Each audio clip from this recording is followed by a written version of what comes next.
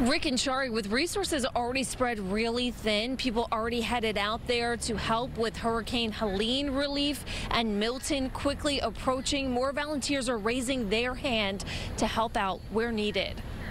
Bags packed for an unforeseen journey. We are expecting things to be tough. We're expecting it to be difficult. Volunteers are heading into harm's way to help those in the path of Hurricane Milton. Michael Bradley with the Red Cross is flying out this afternoon. Hope isn't a plan, but it is important. And just going there and being that, that shoulder to cry on that person for people in their most desperate time. The New Jersey Red Cross is also en route to Orlando with a mission in mind. Take care of as many of their needs as we can. Dan Kelly and Linda Paul will be deployed to wait out the storm and then assigned to shelters, housing, clothing, and feeding people. I love what I do. It's such a wonderful feeling and you know, at the end of the day, when you're tired and you're hungry and you're filthy, um, your heart smiles. It's really a wonderful feeling. They need people like us. They need volunteers. These Red Cross volunteers are running toward the disaster, ready to help. We're able to get supplies right to the folks that need it.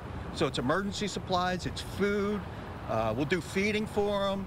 Uh, we'll work with our teams down there and we'll get the supplies to the people that need it. Four volunteers from southeastern Pennsylvania have packed their bags and hit the road in these disaster relief trucks to bring supplies to Florida, food, toiletries, and care kits. We'll do whatever we need to do. If we need to be in shelters, we'll work in shelters.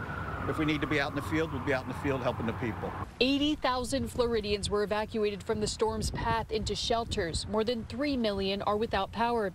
PSE&G crews from South Jersey were already in Georgia helping Hurricane Helene victims. They're on their way to Florida now to help restore power. Meanwhile, Red Cross volunteers like Diane Hurd want to help restore hope, too. Just hearing the relief and the gratitude in the voices of the people that we're working with.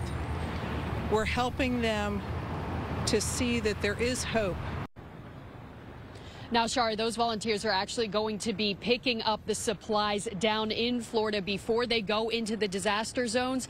They're expecting to arrive in Tallahassee sometime tomorrow. Live here in Center City, Becca Hendrickson, Channel 6, Action News. Shari? Yeah, amazing and important work that they are doing. Becca, thanks. We spoke with a Red Cross volunteer from our area who's been in Florida since Monday. She spoke about one of the shelters she was positioned in near Orlando.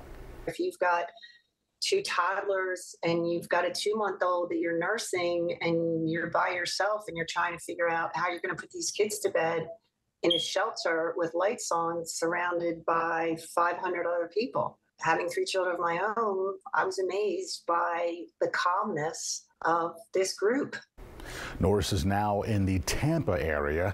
She says her deployment will be at least two weeks long, but longer if she chooses.